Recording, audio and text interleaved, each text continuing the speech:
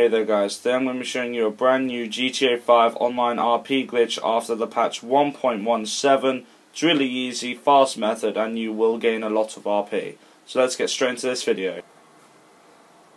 Okay guys, let's just jump uh, straight into this video. What you want to do is you want to press start, go to online, jobs, host job, Rockstar created, it's in races, it's called criminal records. Okay, it's pretty easy. You want to set to about 15 laps. Now, in this new update, they've actually messed something up. You want to set to world record, by the way. Uh, it doesn't matter about custom vehicles or any of this. You just need 15 laps and split times on world record. And oh, by the way, you can do this by yourself. You don't need other people with you.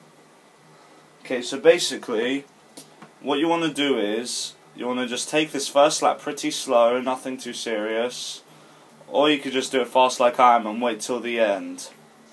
Now, with this, every time you finish a lap, it will say that you've done a world record, which is a bit glitchy. So what you want to do is, you want to get to the end of this lap, like I am about to do.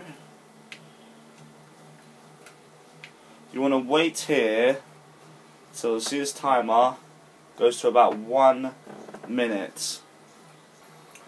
Okay, so as you can see, I've waited a little longer. I've waited one and a half minutes. You will get a really slow time, obviously. Now, it says new fastest lap. Now, everyone knows that when you get fastest lap, you get RP. But because of this little world record glitch, you get a lot more than you're supposed to. So this time, what I'm going to do is I'm going to wait 10 seconds, just not as long. So that way it'll be 1 minute 28 seconds. And this is going to be really easy, it's going to be really good for you to use. You won't get banned for this or in trouble. So uh, we're going to wait now until 1 minute 28.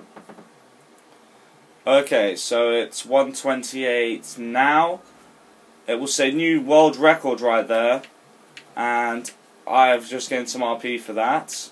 And what we're going to do is every 10 seconds a lap all you need to do is just slow down. Obviously I'm not going to show it all so she'll just get bored.